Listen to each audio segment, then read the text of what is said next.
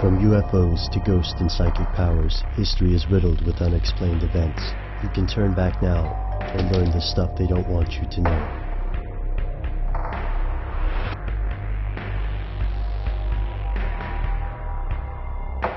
Here are the facts.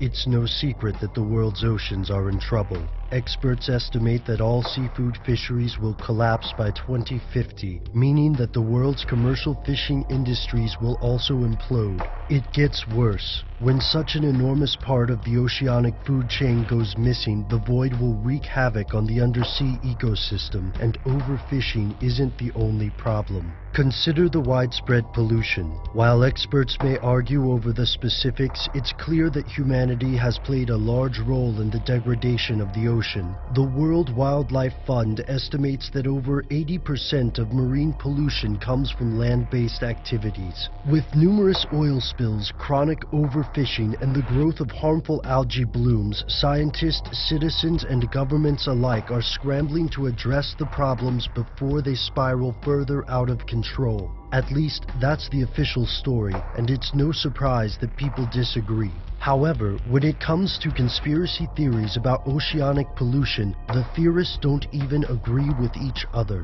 Here's where it gets crazy.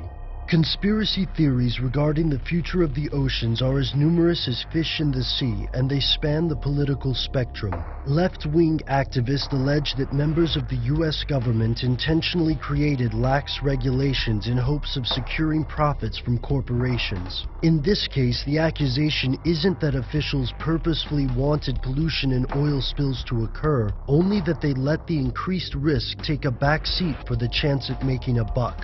Right-wing conspiracy theories are a bit more involved. Some theorists believe the idea of man-made global warming is an international scam meant to tighten government control over private businesses. When it comes to oil spills, talk show pundits like Rush Limbaugh have also argued for possible government involvement. Limbaugh noted that the Deepwater Horizon spill occurred on the eve of Earth Day and suspected that environmentalists might be behind the spill. Another talk show host questioned whether it was a deliberate lead-up to the nationalization of the oil industry. Some theories even accused North Korean operatives of causing the spill and alleged the United States covered it up. The ocean pollution conspiracy theories don't stop at oil spills and global warming. Consider the rise of toxic algal blooms, often called red tides. Algal blooms are rapid increases in the population of phytoplankton, those tiny creatures that make up algae. As these massive concentrations of algae die, bacteria feed on them and suck up the water's oxygen in the process. This creates dead zones, meaning other sea creatures must leave the area or die. In some cases, the blooms appear to occur naturally, but they have also been boosted by the introduction of pollutants like fertilizer or sewage. And, according to researchers like Charles Taylor, the oil company British Petroleum is taking advantage of this ambiguity to claim that suspected oil slicks from recent spills are only algal blooms.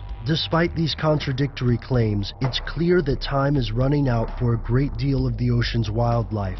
Has this situation been exaggerated, as some argue, for the sake of political power? Has it been downplayed, as others argue, to maintain corporate profit margins? When it comes to the future of the oceans, people believe there's something they don't want you to know. But who are they exactly? This answer changes depending on who you ask.